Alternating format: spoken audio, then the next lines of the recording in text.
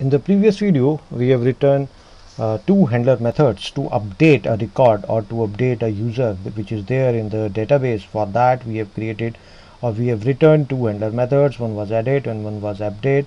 The edit handler used to show the edit form to the onto the browser and then the final role is performed by the update. After the updating the record it the uh, request is forwarded to the details page so so far we have inserted read display all the records and the update. Now in this video we are going to delete the record from the database. After deleting the records we are done with these CRUD operations within the database.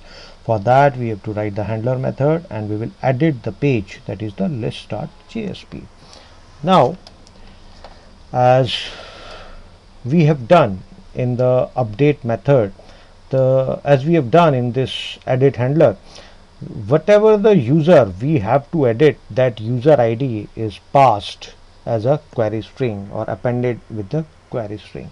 Same will happen with the delete method.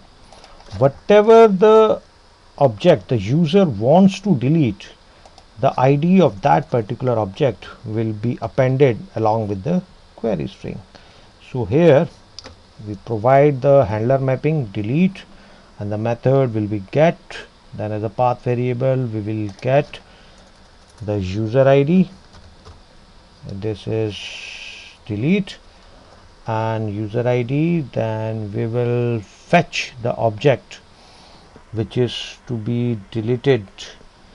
Or we will make the use of this user service dot we will call the delete method. And that delete method we delete the user from the database. The so we are using this delete method of the user service. After deleting the object we want to redirect the user onto the list page. So we will redirect the user onto the list page. We will redirect the user onto the list page. Now we open the list page and in this list page we will provide one more anchor tag. And that anchor tag will be for delete. If a user wants to delete a particular user place this here and remove this.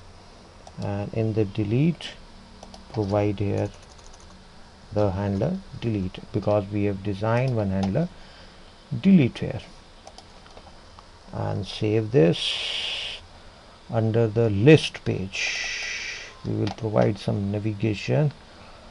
We go to the register page under the details page. Details page we also provide the navigation so that we can navigate details so that we can navigate to the list page. Okay.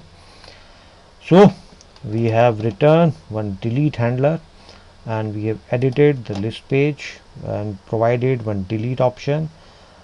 The user id the user which user wants to delete is appended with the query string after this delete method. Now we open this delete page refresh this delete page. Now we are getting the option delete now there are the two users James Gosling and James Cameron. Now if we press delete there is delete. I think we have to uh, run this project again so that our handlers got executed.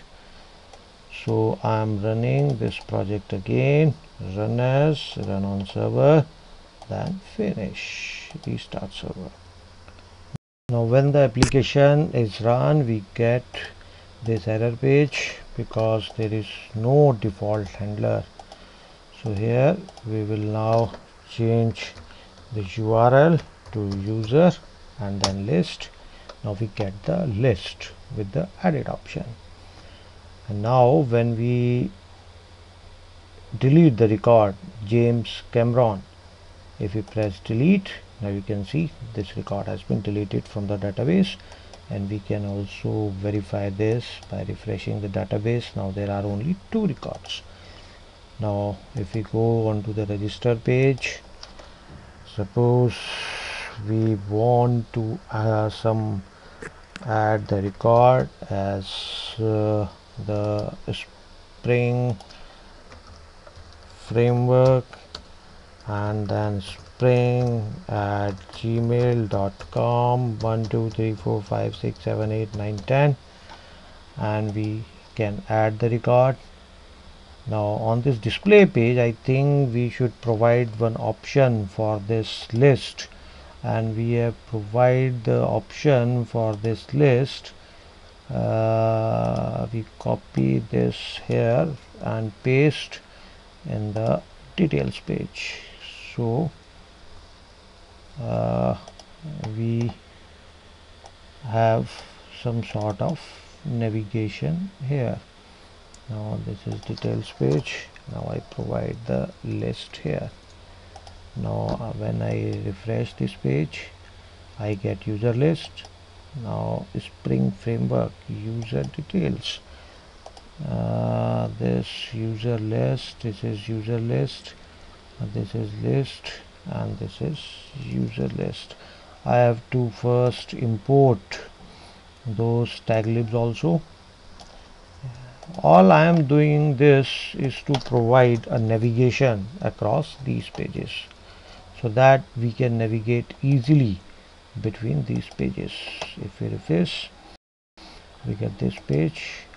Now we can go to list page register on the register we also should have a link to the list page. Now I copy this and I open the register .jsp now this is our register.jsp I again copy here this page. Now when I refresh this I get user list. Now there are the option added delete or details. If you want to edit this we can add it by updating the user then we can again go to list. If we want to see the details of this user we can see the details of this user. If we want to delete this we can delete this. Now we have performed all the operations. That are a database operation with this user object like register create details list edit update and the delete operations. Now we are done with this delete. Now what we are planning to do in this in the next video as you can see if we register the user here uh, if we enter here the blank fields or the wrong email address or not a mobile number or provide the mobile number of only two digits or 20 digits then all the values will be entered like first name is blank and here this is k. Now the email is fff and mobile number is yyy if we add the user this user get added into the database. Now we want to perform the validations. We delete this record. Now we perform the validations in this user registration form so that this first name should not be left blank last name should not be left blank and the email should be a valid email and the mobile data should be numeric and that should be exactly of 10 digits. So in the next video we will start with the validation part with the spring framework